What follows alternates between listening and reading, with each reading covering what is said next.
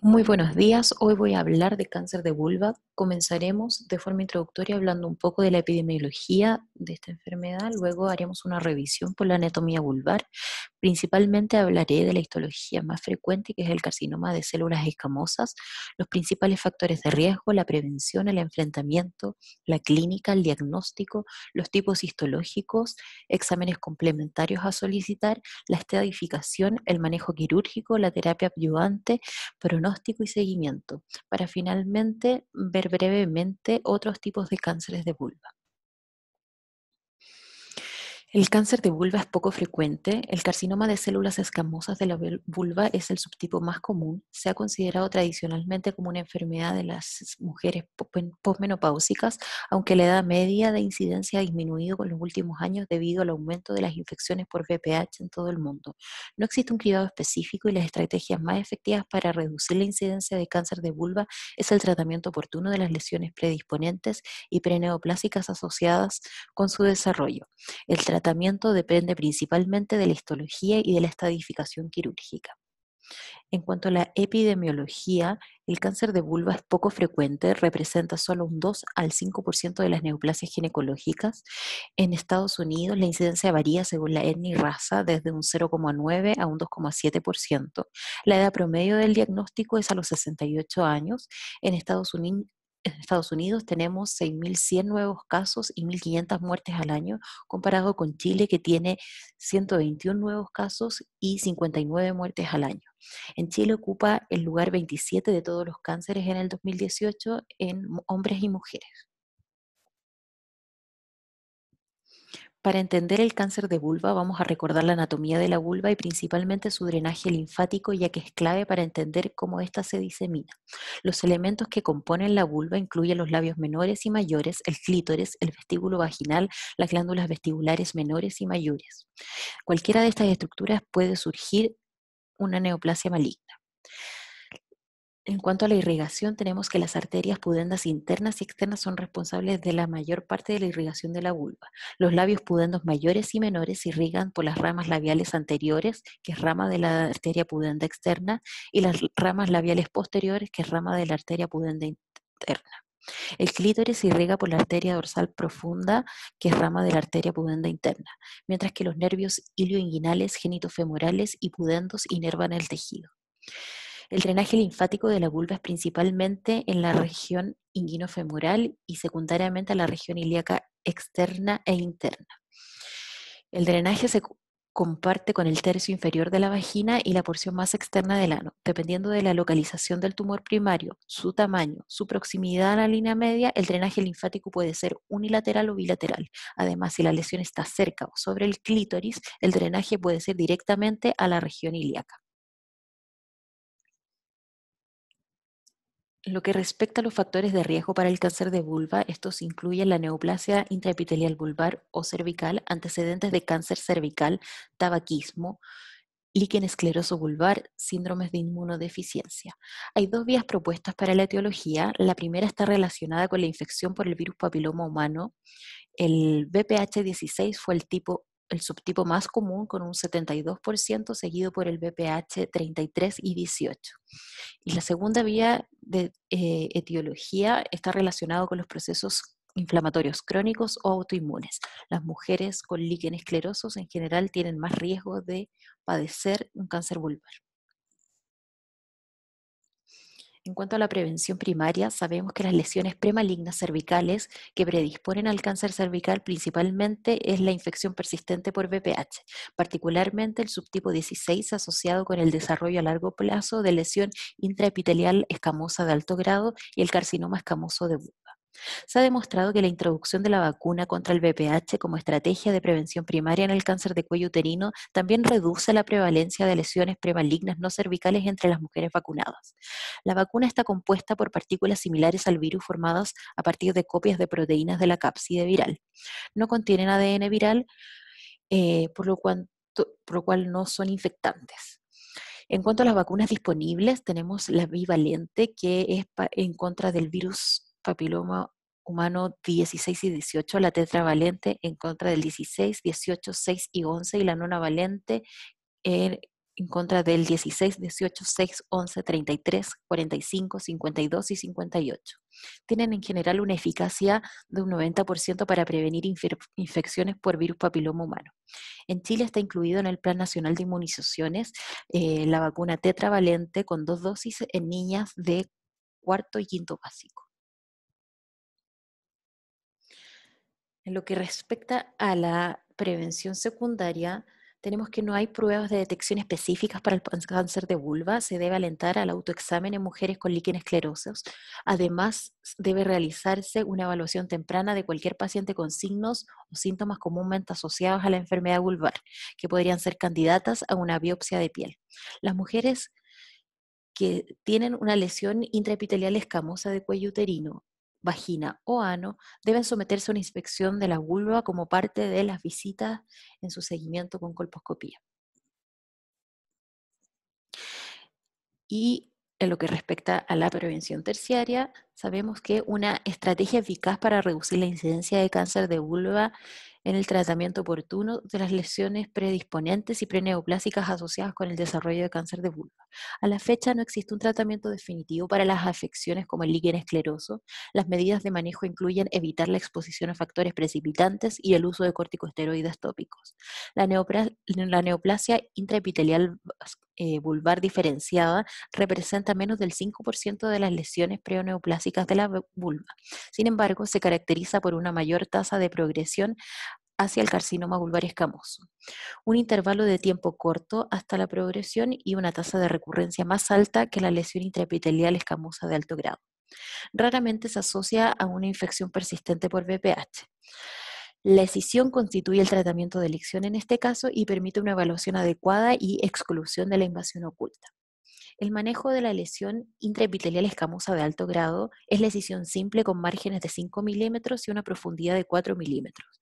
Una opción para evitar la morbilidad quirúrgica en mujeres jóvenes sexualmente activas es el, láser con dióxido de carbono y el imiquimod al 5%, que es aplicado tres veces por semana durante 16 semanas, es un agente tópico más utilizado con una tasa de respuesta parcial de un 80% y una tasa de respuesta completa de un 50%. También se utiliza el sidofovir al 1% aplicado tres veces por semana durante 16 a 24 semanas. Es otro agente tópico de uso común que ha demostrado tasas de respuesta similar a las del imiquimod. Pero estas son opciones que tienen un riesgo de recurrencia en general de un 30 a un 40%. Al lado podemos ver una tabla que muestra la terminología y las definiciones de las lesiones premalignas o precursoras del cáncer vulvar que se han revisado y han cambiado en las últimas décadas. Lo que solía ser una neoplasia vulvar intraepitelial 1 hoy es una lesión intraepitelial escamosa de bajo grado y lo que era una neoplasia vulvar 2 o 3 hoy es una lesión intraepitelial de alto grado. En cuanto al manejo de cáncer de vulva, debemos comenzar evaluando el sitio primario tumoral, la evaluación clínica, la cual debe eh, confirmarse histológicamente. Cualquier lesión vulvar sospechosa debe biopsiarse para excluir la invasión. Esto debe hacerse bajo anestesia local con una biopsia incisional o en cuña. Intentar no extirpar toda la lesión al momento de la biopsia, ya que esto dificulta la planificación de la cirugía definitiva posterior.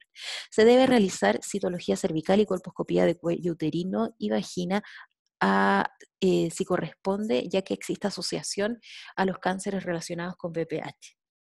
También se debe realizar una evaluación de los ganglios inguinales y femorales en los sitios de diseminación, ya que son los primeros sitios de diseminación, seguidos de los ganglios pélvicos.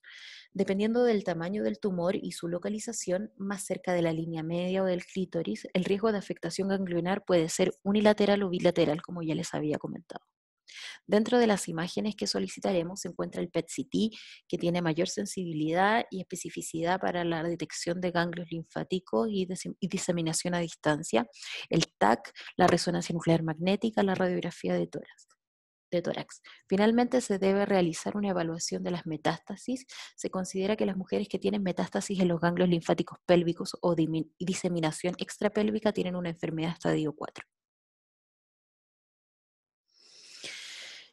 Los tipos histológicos, tenemos que los carcinomas de células escamosas representan la gran mayoría de los cánceres de vulva, en un más de un 80%. Los melanomas son el siguiente cáncer más común. Los tipos histológicos más raros incluyen los carcinomas de células basales, los carcinomas verrugosos, la enfermedad de Payet de la vulva, la adenocarcinoma no especificado y el carcinoma de las glándulas de Bartolino. El cáncer de vulva se ha estadificado quirúrgicamente desde 1988. El diagnóstico final se basa en la evaluación histológica de las muestras de los ganglios linfáticos y vulvares. La estadificación FIGO del carcinoma vulvar se ha, se ha revisado y modificado por última vez en el 2009. Este sistema es aplicable para la mayoría de los tumores que se originan en la vulva, excepto para el melanoma. Tenemos entonces aquí la clasificación, el estadio 1 va a estar confinado a la vulva, el estadio 1A tiene lesiones menores o iguales a 2 centímetros de tamaño confinados a la vulva o perineo con una invasión del estroma menor a un milímetro, sin metástasis ganglionares. El estadio 1B tiene lesiones mayores a 2 centímetros con invasión del estroma mayor a un milímetro confinadas a la vulva o al perineo con ganglios negativos. El estadio 2 son tumores de cualquier tamaño con extensión a estructuras perianales adyacentes con ganglios negativos. El estadio 3 es tumor de cualquier tamaño con o sin extensión a estructuras perianales adyacentes que tiene ganglios inguinofemorales positivos. El estadio 3A1 tiene metástasis en los ganglios linfáticos mayores o iguales a 5 milímetros y el estadio A2 tiene una o dos metástasis en ganglios linfáticos menores a 5 milímetros. El estadio 3B1 tiene dos o más metástasis en los ganglios linfáticos mayores o iguales a 5 milímetros y el estadio 3B2 tiene tres o más metástasis en los ganglios linfáticos menores a 5 milímetros. El estadio 3C tiene ganglios positivos con diseminación extracapsular. El estadio 4 es el tumor que invade a otras estructuras regionales o a distancia. Muchas pacientes son asintomáticas al momento del diagnóstico. También puede presentarse como una lesión vulvar, en la cual la mayoría de los pacientes tiene una placa unifocal ulcerada o una masa carnosa, nodular o verrucosa en los labios mayores, menores, el perineo o el clítoris. Eh, el prurito vulvar es una queja común asociada a muchos trastornos vulvares y especialmente es frecuente en aquellas donde hay una dermatosis vulvar subyacente. Puede ocurrir también sangrado vulvar o dolor en algunos pacientes. El ganglio linfático agrandado en la ingle o edema de las extremidades inferiores son síntomas que se encuentran con menor frecuencia y en general sugieren que hay una enfermedad avanzada. El tratamiento del cáncer de vulva depende principalmente de la histología y la estadificación. Otras variables que influyen en el tratamiento son la edad, la coexistencia de comorbilidades y el estado funcional del paciente. El manejo debe ser eh, individualizado y realizado por un equipo multidisciplinario en un centro oncológico con experiencia en el tratamiento de estos tumores. La quimiorradiación es una alternativa efectiva, particularmente para tumores avanzados y aquellos en la cual sería necesaria la exanteración para lograr márgenes quirúrgicos adecuados se debe buscar el tratamiento apropiado, tanto para la lesión primaria como para los ganglios linfáticos de la ingle, deben considerarse de manera independiente el uno del otro para maximizar las posibilidades de curación. El carcinoma vulvar eh, en estadio 1A se define como una lesión que mide eh, menos de 2 centímetros de diámetro con una profundidad de invasión de 1 milímetro o menos. La profundidad de invasión se mide desde la unión epitelial estromal de la papila dérmica superficial más adyacente hasta el punto más profundo de la invasión. Estas lesiones deben tratarse con una escisión local amplia y no es necesario la disección de los ganglios inguinales. Esto es tan efectivo como una vulvectomía radical para prevenir la recurrencia local, pero disminuye sustancialmente la morbilidad psicosexual del tratamiento. El cirujano debe apuntar a márgenes quirúrgicos de 2 centímetros para lograr márgenes patológicos eh, de menos de 8 milímetros. El margen profundo de la decisión debe ser la fascia inferior del, diafragma urogenital. En el estadio 2, el tumor es un tumor de cualquier tamaño con extensión a estructuras perianales adyacentes. El manejo en este caso es una vulvectomía radical modificada, ya sea una hemivulvectomía radical, una vulvectomía radical anterior modificada o una vulvectomía radical posterior modificada. En el estadio 3, donde hay presencia de ganglios positivos, la mayoría de estos pacientes son tratados con quimiorradiación seguidos de un procedimiento quirúrgico selectivo que se individualiza al paciente el tamaño y la ubicación del tumor residual. Tanto los ganglios inguinales como femorales deben extirparse, ya que la disección de los ganglios inguinales sola se asocia con una mayor incidencia de recurrencia en la ingle. Todas las mujeres que tienen cánceres en estadios 1B o estadio 2 deben someterse a una linfadenectomía inguinofemoral.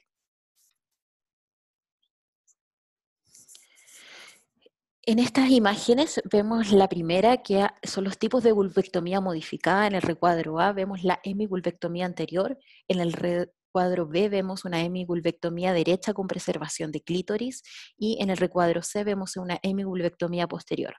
En la segunda imagen vemos la linfadenectomía inguinofemoral. El recuadro A tiene una eliminación en bloque. En el recuadro B vemos una vulvectomía radical con linfadenectomía inguinofemoral bilateral a través de tres incisiones separadas, que es lo que se está validando últimamente. Y en el recuadro C vemos una linfadenectomía unilateral para la lesión bien lateralizada y en el recuadro D vemos una lesión temprana con emisión de linfadenectomía.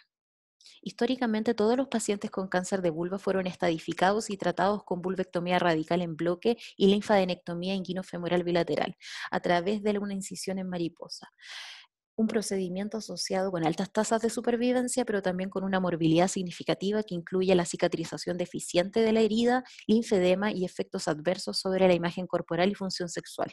En la práctica actual se suele usar escisión radical local.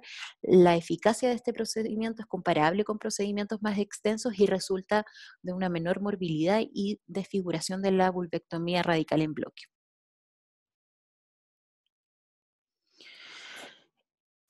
Eh, sabemos que el manejo apropiado de los ganglios linfáticos de la ingle es el factor pronóstico más importante para reducir la mortalidad del cáncer de vulva temprano, ya que las recurrencias de ingle se asocian con una supervivencia más pobre a pesar de las terapias adicionales. Menos del 1% de las pacientes que tienen pequeñas lesiones laterales de menos de 4 centímetros y a más de 2 centímetros de la línea media vulvar y ganglios ipsilaterales negativos tienen metástasis en los ganglios de la ingle contralateral. Por lo tanto, una disección de ingle ipsilateral en estos casos es el tratamiento adecuado para estas pacientes. Los pacientes que tienen un tumor más cercano a menos de 2 centímetros de la línea media o que la cruzan, eh, o aquellas pacientes que tienen tumores laterales muy grandes, mayores a 4 centímetros o ganglios ipsilaterales positivos, deben tener una disección ganglionar inguinal bilateral. Una disección inguinofemoral clásica requiere de la extirpación de los ganglios linfáticos inguinales superficiales y profundos. Los ganglios profundos se sitúan dentro de la fosa oval y los ganglios linfáticos superficiales rodean la vena safena mayor y los vasos epigástricos superficiales. Podemos ver en esta imagen que se debe incluir el corte y ligadura de la vena safena mayor para evitar el riesgo de hernia inguinal. Se secciona, se sutura el músculo sartorio al ligamento inguinal y al aductor largo sigue habiendo una incertidumbre sobre el número óptimo de ganglios linfáticos resecados y el riesgo de recurrencia de estos. Eh, en cuanto al ganglio centinela, sabemos que hay una publicación del estudio Groins 5 es un estudio observacional multicéntrico sobre la detección de ganglios centinelas utilizando un marcador radioactivo y un colorante azul en pacientes que tienen cáncer de células escamosas con menos de 4 centímetros. Esto incluyó a 403 mujeres. El objetivo fue detectar metástasis ganglionares en un ganglio centinela, eh, que es el, el que drena primeramente el tumor, y luego eh, omitir una linfadenectomía completa en pacientes con ganglio centinela negativo, disminuyendo así la morbilidad asociada a una disección completa del ganglio inguinofemoral y encontraron que em, de las 259 pacientes con enfermedad vulvar unifocal y un ganglio centinela negativo, se observaba recurrencias en la ingle de un 2,3% de las pacientes con una mediana de seguimiento de 35 meses. La supervivencia específica para enfermedad fue 97% después de tres años y la morbilidad quirúrgica se redujo sustancialmente, principalmente en cuanto a la dehiscencia de la herida de la ingle y la celulitis. Cabe destacar que cuando no se detecta un ganglio linfático centinela ipsilateral, se debe realizar una linfadenectomía inguinofemoral ipsilateral completa. Además, si un ganglio linfático centinela ipsilateral es positivo, se recomienda la linfadenectomía inguinofemoral bilateral completa. Eh, recientemente y en curso se encuentra el, estudio GROINS 5.2 eh, que está evaluando si la radioterapia es segura para pacientes eh, con metástasis en el ganglio centinela que son menores o iguales a 2 milímetros en vez de realizar una linfadenectomía completa en estas pacientes.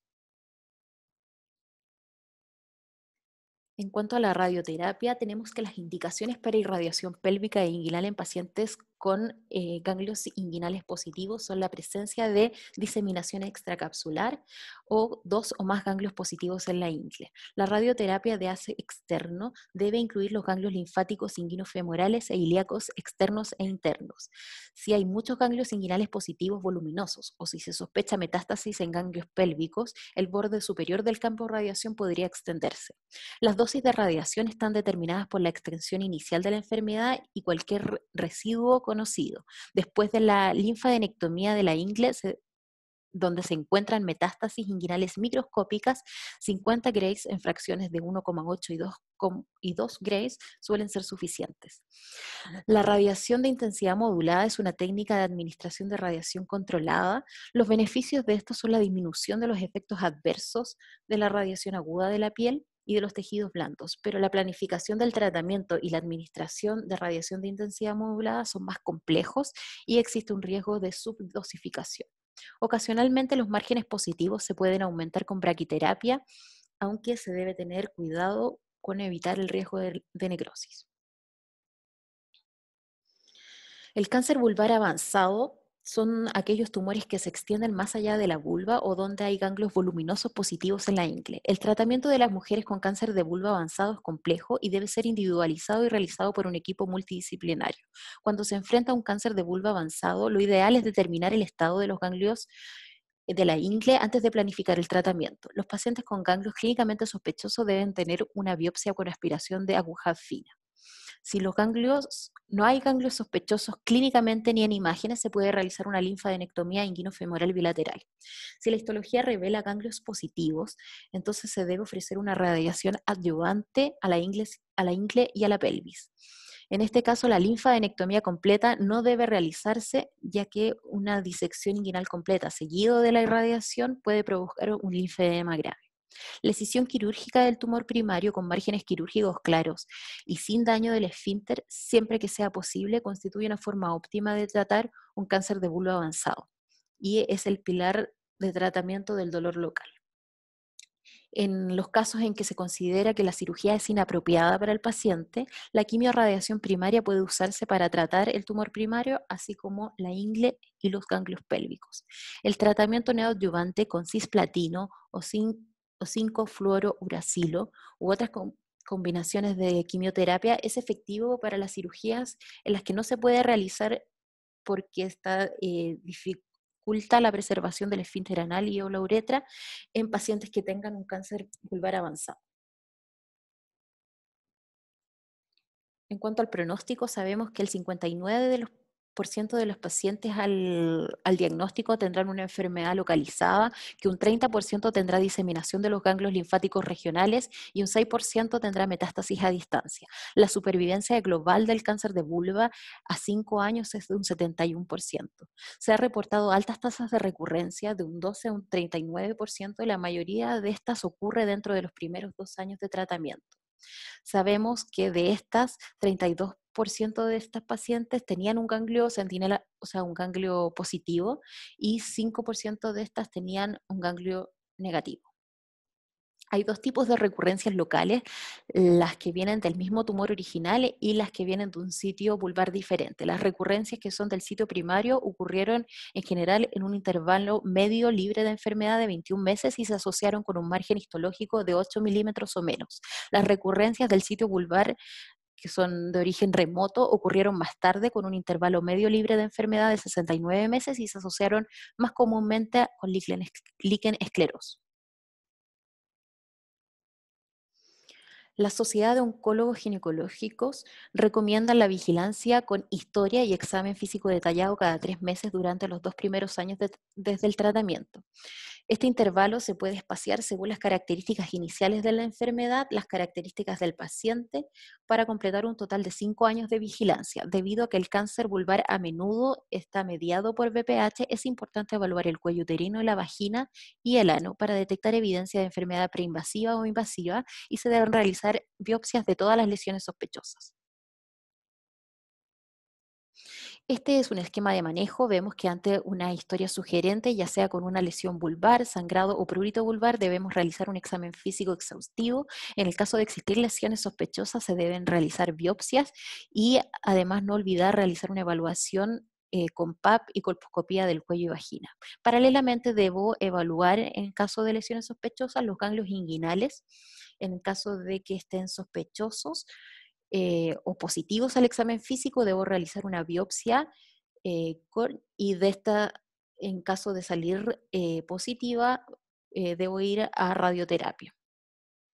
En caso de ser negativa, debo ir a un estudio por imágenes buscando la existencia de ganglios positivos. La histología más frecuente es el carcinoma de células escamosas, pero paralelamente puede haber otro tipo de tipos raros de, de cáncer de vulva como el melanoma, el carcinoma de, glándula de Bartolino y la enfermedad de Payet. En el caso de carcinoma de células escamosas, clínicamente lo podríamos diferenciar entre lesiones que son menores a 2 centímetros, la cual la escisión amplia es y ha demostrado ser eficaz y en caso de las lesiones mayores a 2 centímetros, tenemos dos caminos. Realizar una biopsia rápida de ganglio centinela siempre y cuando cumpla los criterios. Y si esta resulta positiva, la paciente irá a una linfadenectomía inguinofemoral. Y la otra opción es una vulvectomía radical modificada más linfadenectomía inguinofemoral. En todos los casos, esto irá a biopsia definitiva, donde se evaluará la histología, el grado tumoral, la situación de los márgenes, la profundidad de invasión, la presencia o ausencia de invasión perineural o vascular y el estado de los ganglios examinados. En el momento en este momento podemos realizar la estadificación según los criterios FIGO 2009.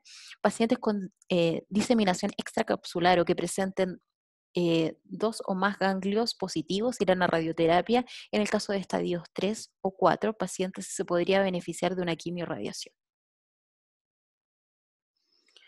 En cuanto a los cánceres más raros de vulva, tenemos que en primer lugar está el melanoma vulvar, que es la segunda neoplasia vulvar más común. Cualquier lesión vulvar pigmentada debe biopsiarse o extirparse para el diagnóstico. La mayoría de los melanomas vulvares involucran el clítoris y los labios menores. La cirugía es el tratamiento de elección para los melanomas vulvares y las lesiones deben tratarse mediante mediante escisión local amplia radical con márgenes de alrededor de un centímetro. Se prefiere la resección conservadora versus la vulvectomía, ya que no ha demostrado diferencias en la sobrevida. El papel de la disección de los ganglios linfáticos también es controvertido y a la fecha no ha demostrado ninguna ventaja en la supervivencia para la linfadenectomía inguinal.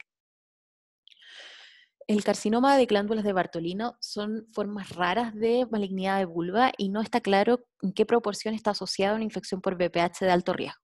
Pueden ser en las células de transición o las que surgen del conducto o adenoscarcinomas que surgen de las glándulas. El diagnóstico a menudo se realiza después de la resección de un quiste de Bartolino persistente o recurrente, los carcinomas de las glándulas de Bartolino se tratan eficazmente con una hemivulvectomía radical y una disección bilateral de la ingle. Sin embargo, debido a la ubicación de estos tumores en lo profundo de la fosa isquiorrectal, los márgenes quirúrgicos adecuados son difíciles de lograr y la radiación postoperatoria puede disminuir la probabilidad de recurrencia local. La enfermedad de Payet extramamaria es rara y puede afectar a las glándulas apocrinas de la, de la vulva. Hay dos tipos, la forma primaria que comienza como una lesión intraepitelial, pero la forma secundaria se debe a la invasión de un adenocarcinoma subyacente, que puede ser carcinoma no rectal, urotelial o del tracto genital. Ocurre predominantemente en mujeres posmenopáusicas y se presenta como prurito vulvar, dolor al examen físico y a menudo una lesión examatoide. El tratamiento de elección para enfermedad de Payet intraepitelial es la excisión local amplia, es difícil lograr márgenes claros, ya que los cambios histológicos a menudo se extienden mucho más allá de lo que es visible macroscópicamente. Incluso con márgenes adecuados, las tasas de recurrencia son altas, aunque rara vez esta enfermedad es letal. Las lesiones que involucran la uretra, el ano, presentan un desafío en el manejo y pueden requerir, requerir terapia láser. Otra opción de tratamiento eh, es eh, el imiquimod local. Finalmente, a modo de conclusión, el cáncer de vulva es una neoplasia maligna ginecológica poco frecuente que surge tanto en las vías mediadas por el virus papiloma humano como vías independientes, como lo pudimos ver. La mayoría de los pacientes con carcinomas de células escamosas de la vulva presentan enfermedades en estadios tempranos y en esta el pronóstico en general es bueno, aunque presenta altas tasas de recurrencia debido a la imposibilidad de lograr márgenes quirúrgicos adecuados. La cirugía es el principal pilar de tratamiento con ayuda de la radioterapia en casos en los que no se logró un margen adecuado y en casos seleccionados y en pacientes que tienen eh, enfermedad avanzada, la quimiorradiación es una terapia eh, adecuada. El estudio con ganglio centinela y las decisiones vulvares menos agresivas ayudaría a disminuir la morbilidad asociada a esta patología. Muchas gracias.